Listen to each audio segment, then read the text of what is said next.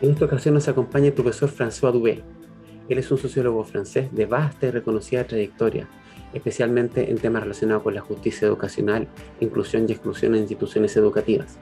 Tenemos la oportunidad de que él ahora nos cuente una historia.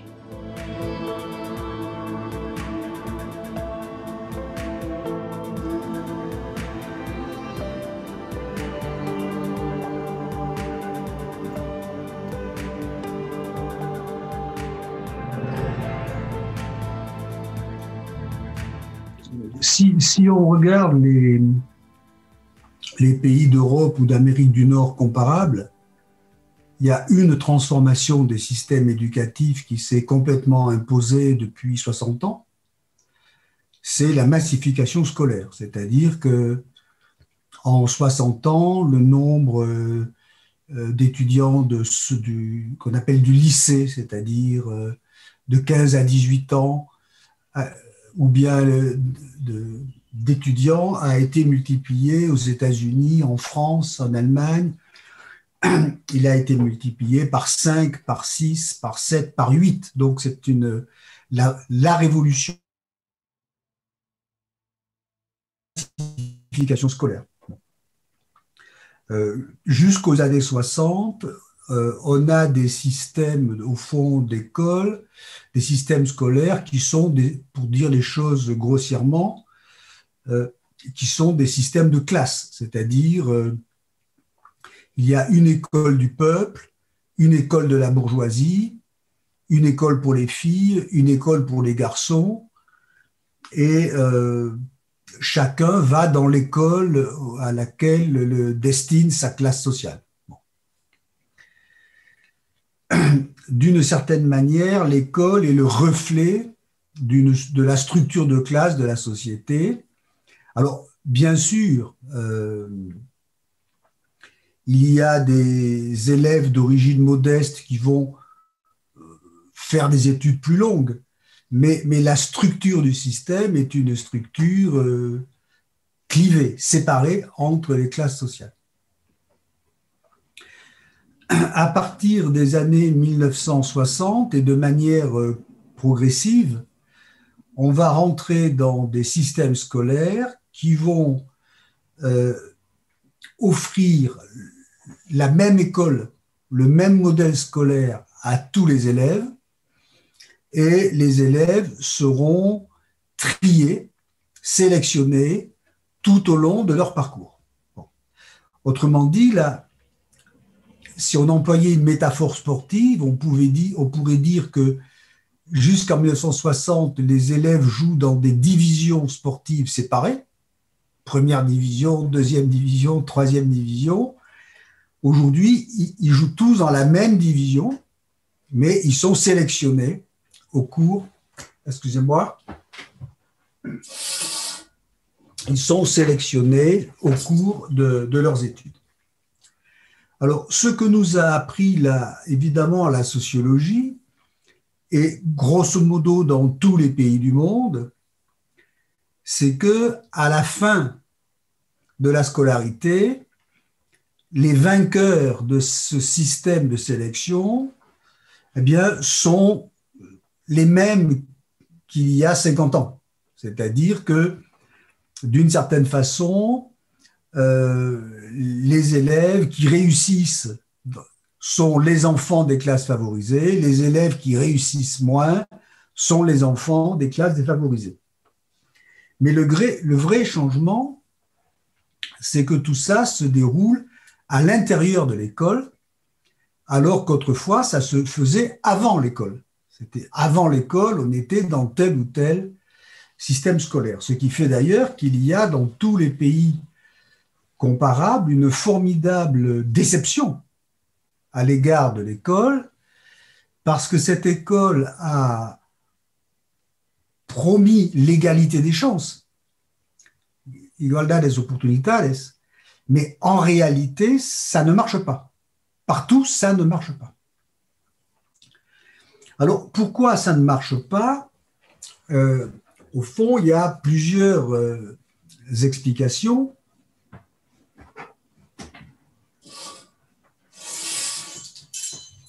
Excusez-moi, il y a du soleil. euh, il y a plusieurs explications.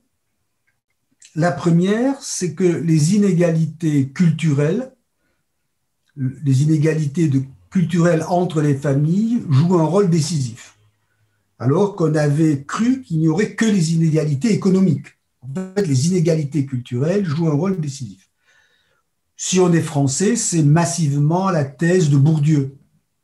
Ou euh, si on est américain, c'est massivement la thèse de, euh, la première thèse de, Coleman, ou bien si on est anglais, c'est des thèses de, Bernstein. Fait, c'est dans la culture qu'il y a les inégalités. La deuxième explication, qui aujourd'hui est devenue quand même très importante, c'est que quand vous êtes dans une école de masse, tous les acteurs deviennent concurrents, deviennent rivaux. Et d'une certaine manière, les classes favorisées accentuent les inégalités. J'avais écrit un petit livre qui s'appelait La préférence pour l'inégalité. Au fond, dans les classes moyennes à Santiago du Chili, même si on est à gauche, même si on est socialiste, même si on est communiste, on va choisir la meilleure école, les meilleurs enseignants. Alors, au fond, on choisit l'inégalité. Et on choisit l'inégalité d'autant plus que le diplôme joue un rôle décisif dans l'accès à l'emploi. Donc, d'une certaine manière, les acteurs choisissent les inégalités et les enquêtes montrent qu'ils les choisissent même de plus en plus euh, précocement, c'est-à-dire que on va faire des choix dès la petite enfance pour favoriser les inégalités scolaires. Et ce choix inégalitaire, il fonctionne à peu près partout. Dans les pays qui ont des systèmes scolaires très libéraux comme le Chili, mais aussi dans des pays qui ont des systèmes publics très centralisés comme la France. Au fond, de ce point de vue-là, il n'y a pas vraiment de différence entre la Chili, aussi étonnant que ça puisse paraître. Bon. Et puis la troisième explication, évidemment, c'est qu'il y a une inégalité de l'offre scolaire. C'est-à-dire que derrière, alors en France ou en Europe de manière générale, il y a une sorte de décor scolaire égalitaire. Tous les établissements se valent, tous les enseignants se valent, mais on sait bien que en réalité, c'est pas vrai. Et évidemment, euh, dans le cas d'un pays comme le Chili, c'est explicite, puisque vous accédez à tel ou tel établissement en fonction de vos revenus.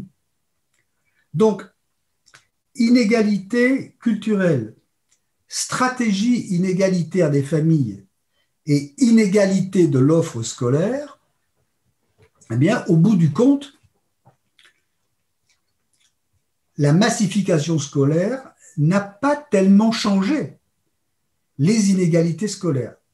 Mais elle a changé une chose qui est essentielle, c'est que les inégalités scolaires se font se fabriquent dans l'école, à l'intérieur de l'école.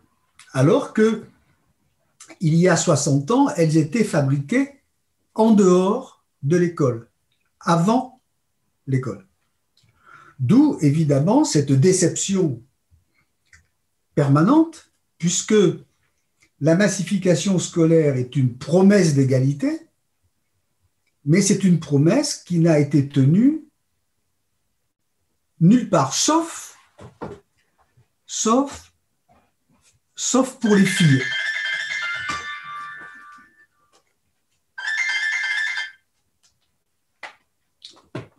Sauf pour les filles, parce que euh, les filles, il y a des inégalités entre les garçons et les filles, il y a des inégalités sociales entre les garçons et les filles, mais les filles ont été beaucoup plus diplômées que les. Donc, il y a eu des effets positifs. Les filles ont accru leur niveau de qualification, Mais si on raisonne en termes d'inégalité, ça n'a pas beaucoup, beaucoup changé. Alors, évidemment, pour renvoyer au thème, de, au thème qui vous intéresse, plus l'école est efficace, c'est-à-dire plus les enfants apprennent bien, plus les maîtres sont compétents, plus les établissements sont mobilisés, plus les inégalités, pas les inégalités des chances, mais les inégalités de résultats sont faibles.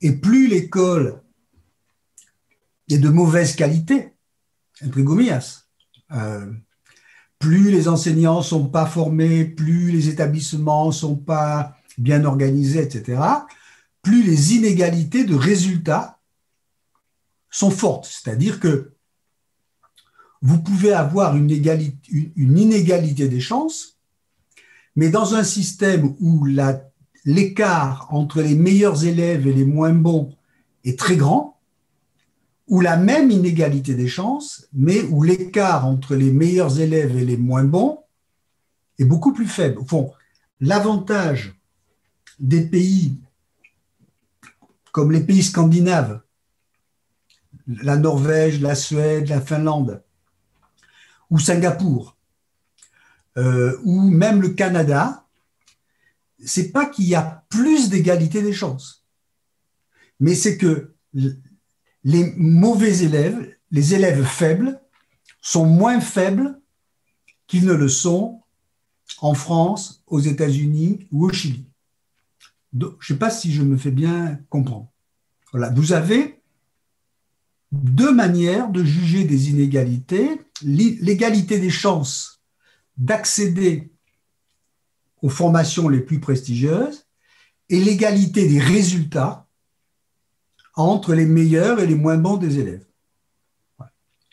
Donc, voilà comment euh, on peut se poser le problème de la qualité de l'établissement scolaire, de la qualité des enseignants, de la mobilisation des établissements, de la mobilisation des chefs d'établissement, dont l'efficacité n'est pas tellement de favoriser l'égalité des chances, mais de réduire les inégalités de résultats entre les meilleurs et les moins bons des élèves.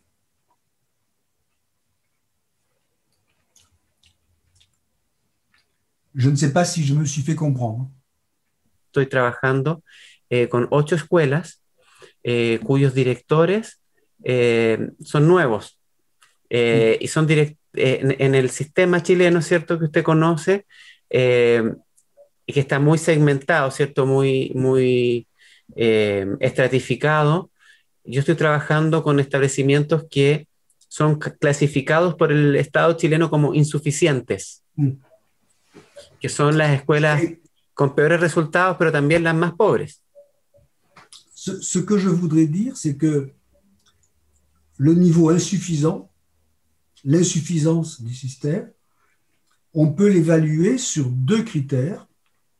Le critère de, de, de igualdad de oportunidades, d'égalité des chances, mais il y a aussi le critère de l'égalité de, de, de, l'égalité des résultats. Voilà, c'est-à-dire que vous pouvez dire au Chili, un enfant, le, je sais pas, le Pudahuel, n'a pas beaucoup de chances d'accéder à l'université catholique euh, et en ses meilleures formations. C'est le premier critère. Mais vous pouvez dire, un enfant de Pudahuel a, va apprendre beaucoup de choses à l'école, et sera moins éloigné culturellement et intellectuellement des élites qu'il ne l'était avant. Et je crois qu'il faut bien distinguer ces deux manières d'évaluer les inégalités scolaires, euh, parce qu'elles n'entraînent pas la même politique. Elles, ne provoquent pas les mêmes politiques si vous voulez de l'égalité des chances, la politique, c'est de dire je vais dans un établissement défavorisé, choisir les bons élèves et les mettre à la Condes. Bon. Les autres, voilà. Bon. Mais vous pouvez dire, je vais mettre les meilleurs enseignants, les meilleurs chefs d'établissement à Pudahuel pour que le niveau scolaire des élèves de Pudahuel monte. Ils n'iront pas à la Cato, mais, ou à la Chile, pardonnez-moi, à la Cato ou à la Chile. Mais on réduira les inégalités. Pour employer une métaphore, c'est comme si on disait, les inégalités, c'est quelles sont les chances pour un ouvrier de devenir patron? Ou bien de dire, les inégalités, c'est la différence de revenus entre les patrons et les ouvriers. Ce n'est pas la même chose. Mais je crois que ce qui est imposé avec l'égalité des chances, c'est quand même une pensée de type libéral. Euh, libéral dans un sens fort, pas dans un sens critique. Euh, au fond, la justice, c'est que les individus puissent bouger dans la société. La pensée, entre guillemets, socialiste, c'était de dire on réduit les inégalités entre les individus. Et ce n'est pas la même chose. Voilà. Mais aujourd'hui, en tout cas, je crois qu'en Europe, la conception plutôt libérale s'est quand même imposée. Voilà.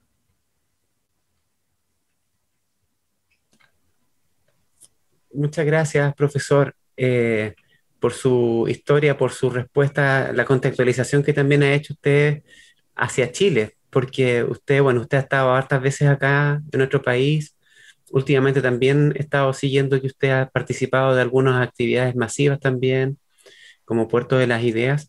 Eh, así que esto, usted está muy, muy actualizado de lo que está ocurriendo en mi país y, y por lo tanto todo, todo, lo que usted nos está compartiendo también tiene esa impronta, ¿cierto? De una persona que está en diálogo con Chile y, y por lo tanto tiene mucho que aportar de esa, desde esa perspectiva. Así que yo le agradezco, profesor, el tiempo entregado y, y espero que estemos en contacto en, en el futuro. Muchas gracias.